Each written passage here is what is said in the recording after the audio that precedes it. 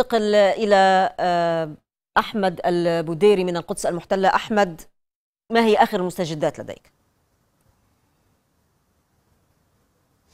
الاجتماع الأمني الكابينت الأمني ما زال مستمرا لغاية الآن ولكن بدأنا نسمع العديد من الأصوات داخل إسرائيل والتي تنادي باستمرار الحرب. آه، على سبيل المثال جدعون صاعر وهو الذي انشق من حزب الليكود وأسس حزبا خاصا به. الذي قال قبل قليل يجب أن تستمر هذه المعركة إذا لم يكن هنالك إيقاف كامل لتسلح وإعادة تسليح حركة حماس في المستقبل وإذا لم يكن هنالك استعادة للجنود المختطفين أو الموجودين في منطقة قطاع غزة على حد قوله فإن ذلك يعني بأننا لم نحقق شيئا ويجب على المعركة أن تستمر. بن كفير وهو أيضا آه، آه، آه، جزء لا يتجزأ من الحكومة الإسرائيلية كونه عضو مشارك في حزب الليكود الإسرائيلي ومتحالف مع بنيامين نتنياهو. قال إذا تم إيقاف الحرب دون أن يكون هنالك أي ضمانات سياسية مستقبلية هذا يعني على حد قوله بصقة في وجه سكان الجنوب. وعلى بنيامين نتنياهو أن يعلم بأن دعمنا المطلق له ليس بالضرورة أن يستمر. عدد من العسكريين المتقاعدين الذين كانوا إما في سلك الاستخبارات أو كانوا في سلك الجيش الإسرائيلي يقولون بأن الانتهاء من هذه العملية العسكرية دون أن يكون هنالك إنجاز حقيقي يشكل تهديدا حقيقيا لقوة الردع الإسرائيلية التي ما لبثت أن تراجعت بشكل كبير تحديدا خلال العشر سنوات الماضية. وأن على حد قول أولئك من المتقاعدين العسكريين الذين قالوا بأن هذه هذا الشكل من التراجع إنما سوف ندفع ثمنه في المستقبل. أما في اليسار الإسرائيلي أو الوسط في يعني في الأحزاب الوسط واليسار الذين باتوا يقولون بأن هذه العملية العسكرية أفقدت الحكومة الإسرائيلية شرعيتها وأفقدتها القدرة على اتخاذ القرار الصائب وبنيامين نتنياهو فقط يفكر في الكرسي الحكم ولا يفكر بمستقبل ما قد يجري. بعض العسكريين الذين أشاروا أيضا إلى أن هنالك محاولة لإظهار بنيامين يعني بنيامين نتنياهو يحاول إظهار بأن الجيش يضغط عليه للقبول بوقف إطلاق النار وهذا عار عن الصحة والجيش مستعد للاستمرار والمضي قدما في العملية العسكرية. كل هذه الأصوات وحقيقة لا نسمع صوت الذي يقول لتتوقف الحرب فورا. يعني هذا الصوت بدنا لا نسمعه. طبعا هنالك من أقصى اليسار ولكن بالأصوات الوازنة في الشأن وفي المنظومة السياسية الإسرائيلية لا أحد يقول بأن الحكومة يجب أن تعلن وقف إطلاق النار من جانب واحد. جزء منهم يطالب بأن يكون هنالك استمرار للعملية العسكرية وجزء يطالب أن يكون هنالك ورقة سياسية. أما سكان الجنوب الذين هم في سديروت فعمليا الذين لا يستطيعون مغادرة المنازل بسبب استمرار إطلاق الصواريخ والتي عموما لم تتوقف حتى خلال الاجتماع الكابينت الإسرائيلي ما زالت صفارات الإنذار تدوي في عدد كبير من البلدات حول قطاع غزة.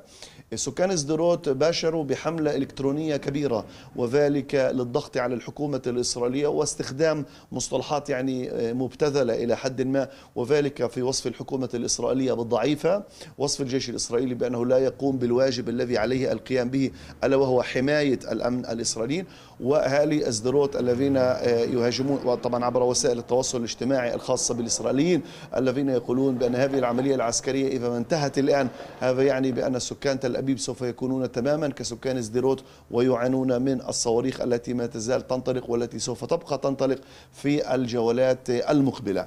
إذا الجو السياسي بات في حالة فوضى عارمة بين أخذ ورد واعتراضات كبيرة عن كيفية إدارة خواتيم المعركة. إذا ما كان هنالك خواتيم. الجميع يسأل ماذا بخصوص الاجتماع الأمني؟ أولا هذا الاجتماع ليس بالضرورة أن يكون هنالك مؤتمر صحفي بعد اجتماع الكابينت الإسرائيلي ويقف بنيامين نتنياهو ويقول كذا وكذا وكذا. هذا ليس بالضرورة أن يحدث. ممكن أن يكون هنالك إيجاز صحفي من بنيامين نتنياهو ووزير الجيش بني جانس ممكن أن يكون هنالك إصدار لبيان مكتوب. وممكن أن لا يحدث شيء. أن تبقى الأمور للغد ولبعد الغد وذلك في انتظار أن يكون هنالك المزيد من قراءة الرؤية السياسية لكيفية إدارة المعركة. نحن نعلم بأن هنالك اجتماع صاخب في الجمعية العمومية وصل صدى إلى إسرائيل والعديد من دول العالم التي سمعنا وزراء خارجيتها وكبار المسؤولين فيها الذين عبروا عن امتعاضهم من استمرار هذه الحرب.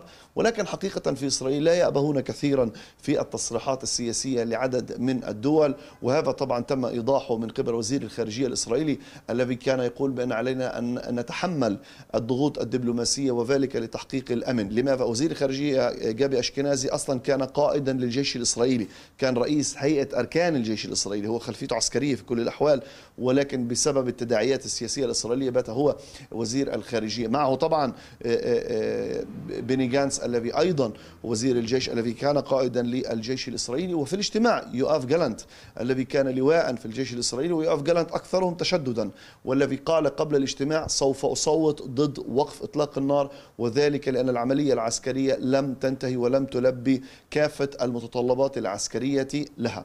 ولكن البعض يخشى من أن عمليا إذا إسرائيل الليلة غدا أوقفت وقف إطلاق النار دون أن يكون هنالك موافقة على ورقة سياسية دون أن يكون هنالك موافقة على صيغة للتهدئة دون أن يكون هنالك حديث عن المسجد الأقصى أو عن الشيخ جراح أو عن إعادة فتح المعابر في قطاع غزة. هذا يمكن أن يشكل أيضا أزمة سياسية للأطراف الدولية مصر المبعوث الأممي الدول الأوروبية الولايات المتحدة روسيا كل الأطراف التي التي تسعى ليس فقط لوقف إطلاق النار ولكن أيضا تسعى لأن يكون هنالك مخرج مخرج دبلوماسي سياسي للمسألة.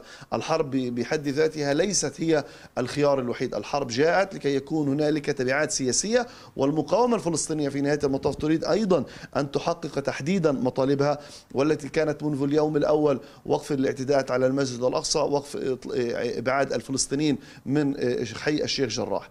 الجانب الإسرائيلي في المقابل يسعى أيضا لكي يكون هنالك ورقة تتحلق في عدم تسليح حماس وأيضا إخراج الجنود الذين هم موجودين داخل قطاع غزة والذين طال الحديث عنهم دون أن يكون هنالك نتائج. طيب رائد. إذا الاختلاف الداخلي في الكابينت قد لا يخرج بقرار اليوم لوقف إطلاق النار وشكل ذلك الإيقاف وقد لا يخرج ببيان يعني كل السيناريوهات مفتوحة.